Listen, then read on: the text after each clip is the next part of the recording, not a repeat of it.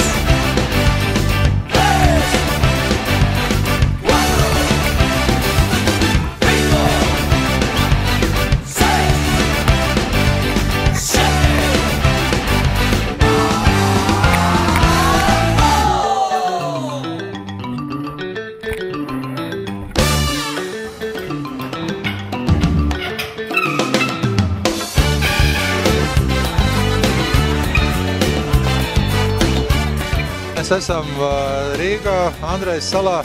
Indoor, nu, tas ir ziemas sacensības telpās Velo triālā. Divos etapos šis ir pirmais Rīgā. Ugālē būs 19. februārī sacensības.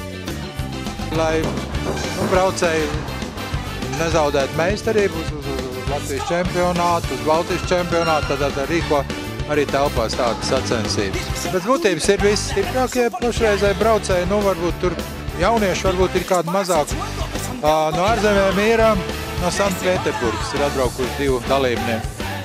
Tieši informācija man vēl nav precīzi par elitu, bet es tā domāju, ka, ka, ka vinnēs šogad tiešām mūsējais stiprākais.